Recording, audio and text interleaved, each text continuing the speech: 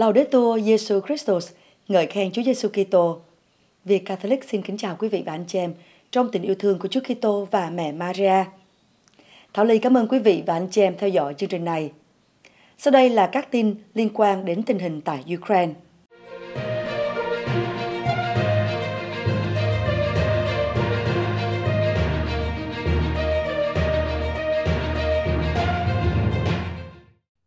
Không quân Ukraine xuất kích trước cuộc tấn công dữ dội của quân Nga tại Liman và Izium.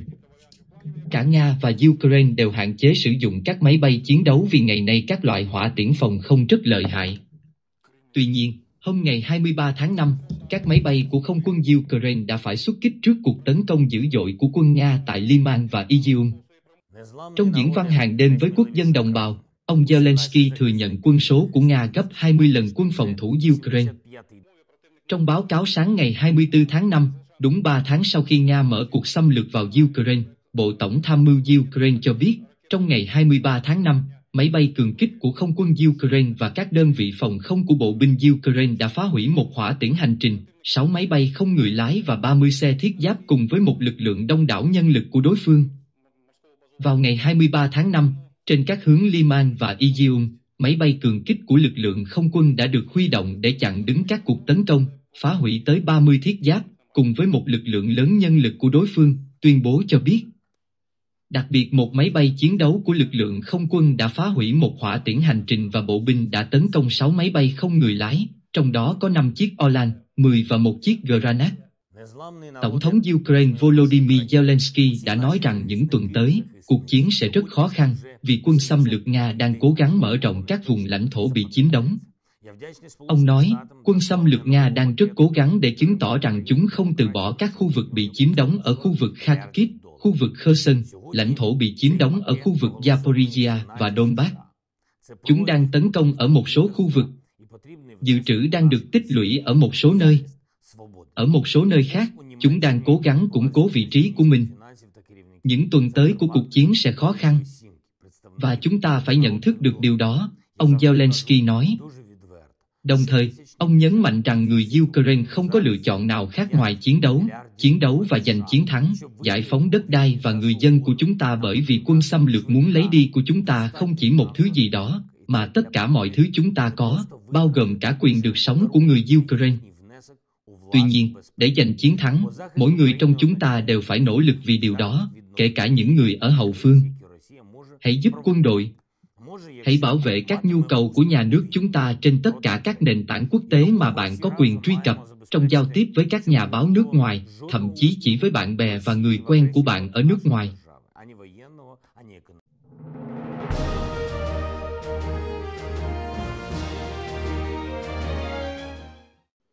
Lực lượng liên quân Ukraine đẩy lùi 16 đợt tấn công của quân Nga, phá hủy 8 xe tăng, lực lượng liên quân Ukraine đã phá hủy 8 xe tăng Nga và hơn 20 phương tiện của đối phương ở các khu vực Donetsk và Luhansk vào ngày 23 tháng 5.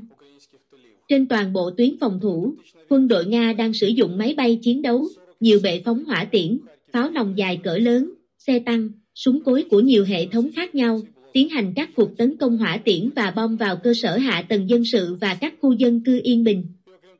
Đặc biệt, quân Nga đã bắn vào 38 khu định cư ở vùng Donetsk và Luhansk, phá hủy và làm hư hại 53 ngôi nhà, một xí nghiệp nông nghiệp, một trường mẫu giáo, một chi nhánh ngân hàng, một hiệu thuốc và một tòa nhà của cảnh sát quốc gia.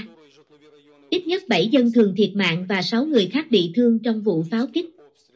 Các đơn vị phòng không của Ukraine đã bắn hạ một máy bay không người lái Granat của Nga và 6 máy bay không người lái Orlan.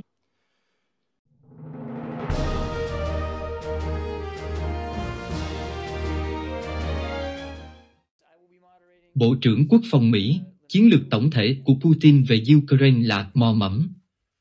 Bộ trưởng Quốc phòng Hoa Kỳ Lloyd Austin cho biết hôm thứ Hai rằng chiến lược tổng thể của Tổng thống Nga Vladimir Putin liên quan đến Ukraine là mò mẫm.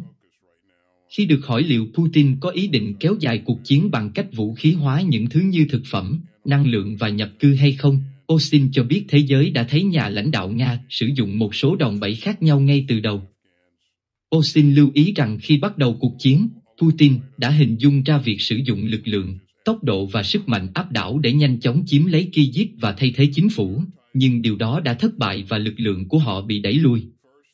Và vì vậy, chúng ta đã thấy họ thực sự tiến hành mọi thứ rất chậm và không thành công trên chiến trường, và bạn có thể mong đợi rằng ông ta sẽ cố làm cho được, ông ta sẽ tìm cách sử dụng đòn bẩy quyền lực khác hoặc các công cụ quyền lực khác, chắc chắn ông ta sẽ làm điều đó, nhưng về chiến lược tổng thể của ông ta là gì thì chính ông ta vẫn chưa rõ.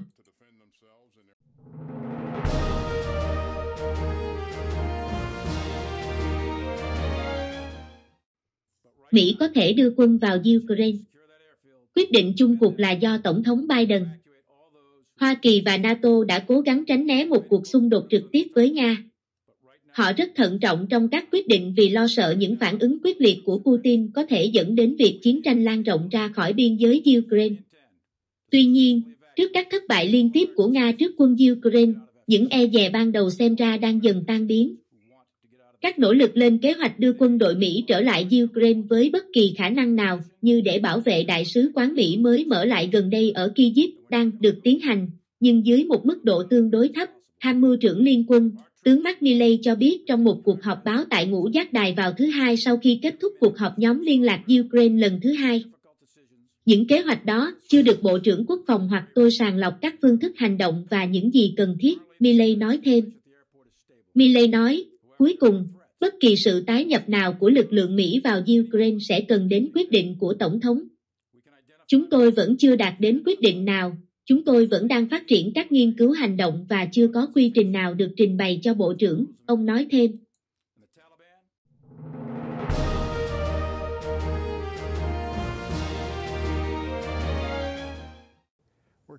Tổng thống Biden nói trong hội nghị tứ cường, chúng ta đang trải qua những giờ khắc đen tối trong lịch sử chung. Tổng thống Joe Biden đã phát biểu khai mạc hội nghị thượng đỉnh tứ cường vào hôm thứ Ba tại Tokyo, đề cập đến tầm quan trọng của liên minh trong bối cảnh Nga xâm lược Ukraine. Chúng ta đang trải một thời khắc đen tối trong lịch sử chung, Biden nói khi ngồi đối mặt với các nhà lãnh đạo của Ấn Độ, Úc và Nhật Bản. Cuộc chiến tàn bạo và vô cớ của Nga chống lại Ukraine đã gây ra một thảm họa nhân đạo, và những thường dân vô tội đã bị giết trên đường phố và hàng triệu người tị nạn phải di tản trong nước cũng như phải lưu vong. Và đây không chỉ là vấn đề của Âu Châu, mà còn là vấn đề toàn cầu. Ông Biden cảnh báo rằng Tổng thống Nga Vladimir Putin đang cố gắng dập tắt một nền văn hóa, đồng thời chỉ ra việc Nga tấn công vào các trường học, nhà thờ và bảo tàng Ukraine. Ông nói, Mỹ sẽ tiếp tục công việc của mình với các đối tác để dẫn đầu một phản ứng toàn cầu. Tổng thống Biden nhấn mạnh rằng cuộc xâm lược của Nga chỉ nâng cao tầm quan trọng của các mục tiêu và giá trị được chia sẻ của tứ cương. Các nguyên tắc cơ bản về trật tự quốc tế, toàn vẹn lãnh thổ và chủ quyền, luật pháp quốc tế, nhân quyền phải luôn được bảo vệ, bất kể chúng bị vi phạm ở đâu. Vì vậy, tứ cường còn rất nhiều việc phải làm ở phía trước chúng ta. Các bình luận được đưa ra khi Tòa Bạch Ốc cho biết Biden dự định sẽ nói chuyện trong hội nghị thượng đỉnh với Thủ tướng Ấn Độ Narendra Modi là người đã chống lại áp lực trừng phạt Nga của Mỹ. Ông Joe Biden đã đề cập đến việc tăng cường quan hệ Mỹ-Ấn, một gợi ý mà ông hy vọng sẽ giúp Ấn Độ bớt phụ thuộc vào vũ khí do Nga sản xuất. Biden nhắc lại niềm tin của mình rằng thế giới đang ở một thời điểm chuyển đổi và câu hỏi liệu các nền dân chủ có thể thắng thế các chế độ chuyên quyền hay không. Ông khen ngợi khả năng lãnh đạo phi thường của Thủ tướng Nhật Bản Fumio Kishida khi ông cảm ơn người chủ nhà. Ông Biden cũng hoan nghênh và chúc mừng Thủ tướng Australia Anthony Albanese là người đã tuyên thệ nhậm chức vào tuần này. Chúng tôi đánh giá rất cao cam kết của bạn ở đây ngay sau khi nhậm chức, Biden nói.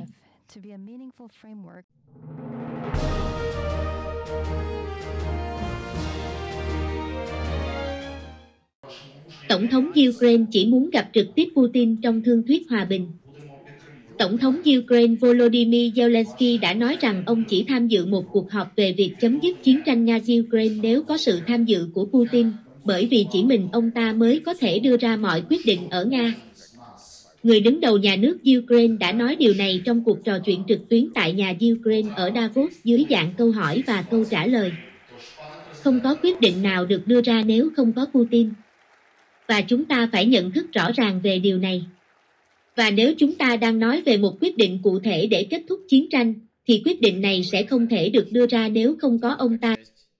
Chúng sẽ không thực hiện được nếu không có cuộc gặp với Tổng thống Nga.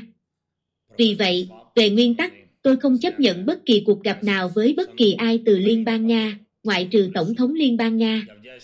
Và chỉ có một vấn đề trên bàn là vấn đề kết thúc chiến tranh. Đó là vấn đề duy nhất có thể bàn cãi. Ngoài ra không có gì khác để nói.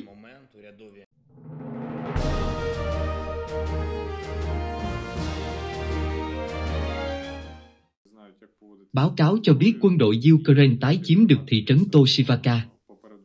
Lực lượng vũ trang Ukraine đã đánh đuổi quân đội Nga ra khỏi thị trấn Toshivaka ở vùng Luhansk và củng cố các vị trí của họ. Serhiy Haidai, người đứng đầu Cục Quản lý Quân sự khu vực Luhansk, cho biết như trên. Ông nói, tại Toshivaka, lực lượng vũ trang Ukraine đã đánh bật quân Nga và củng cố vị trí của họ. Nga đã tung vào vùng Donbass 25 tiểu đoàn chiến thuật, tương đương khoảng 12.500 quân, để tấn công vào khu vực Luhansk, với trung tâm là thành phố Sievirodonetsk bị phá hủy bởi máy bay và tất cả vũ khí hiện có. Vùng Luhansk liên tục chịu hỏa lực của quân đội Nga.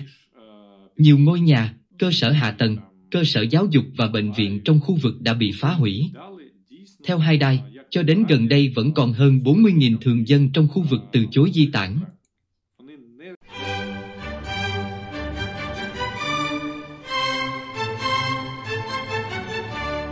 Chương trình của chúng tôi đến đây là hết. Xin quý vị và anh chị em thêm lời cầu nguyện cho anh chị em Ukraine đang trải qua những giờ khắc thử thách và khó khăn. Và xin cầu nguyện cho linh hồn những người của cả hai bên đã thiệt mạng trong cuộc chiến. Xin cảm ơn và gặp lại quý vị và anh chị em trong lần phát hình tới.